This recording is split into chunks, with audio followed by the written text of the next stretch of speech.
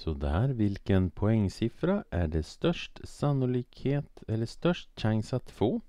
Och då tittar vi på den poängsiffra som återkommer flest antal gånger och då är det ju den här tian här. Då kan vi välja en annan färg och inte svart här. Sådär. Den förekommer fyra gånger. Alla de andra de förekommer mindre än fyra gånger. Så svar det är då poängsiffra